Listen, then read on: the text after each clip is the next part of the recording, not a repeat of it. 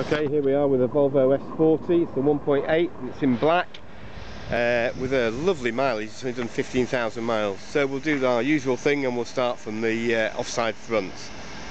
Uh, offside front wheel uh, is, oh it's fine, it's good, tyre tread is very good, moving down the offside everything looks exactly what it should do offside rear wheels good. Tyre depth is very good. Everything that you'd expect.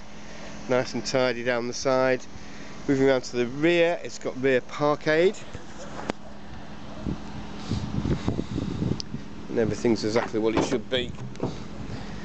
Boots nice and clean. Space saver spare wheel. The uh, jack and everything seems to be there so there seems to be any problem moving round to uh, the near side.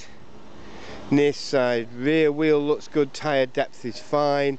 There is a, a scuff that uh, some of that will polish out just on the uh, oh there's a dent as well just on the rear wheel arch which I think will probably smart repair. Moving down the near side the near side door has just got a little bit of mark on the rubbing straight but here again I think that will actually polish out that bit so that's too much of a problem. Moving down the rest of the near side everything's exactly what it should be. Near side front wheel's just got a little bit of uh, a curb on it. Uh, tyre depth is absolutely fine so it's everything that it should be. Moving around to the front a couple of light stone chips on the front but nothing sort of too dramatic. Uh, so everything's uh, what it should be.